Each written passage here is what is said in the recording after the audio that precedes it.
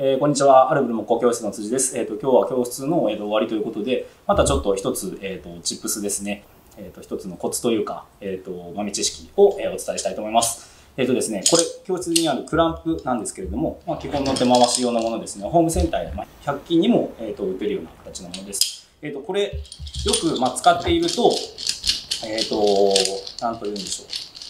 こう、皆さんこうやって回してます。で、よくこうやって閉じて、使った後は結構、ここが、えっ、ー、と、もうそのまま閉まった状態で、この締め代がなくなって、それをまた回さないといけない。ということで一生懸命皆さんこうやってるんですけれども、これですね、教室の皆さんはいつもこうやるんですけども、もっと簡単な、えっ、ー、と、早い回し方があります。単純にここを回すんじゃなくて、これを、これが例えばこういっぱいになって、締め代がもうなくなりましたってなった場合に、じゃあ、一回一回手で回すんじゃなくて、こっちを持って、で、これを回してやります。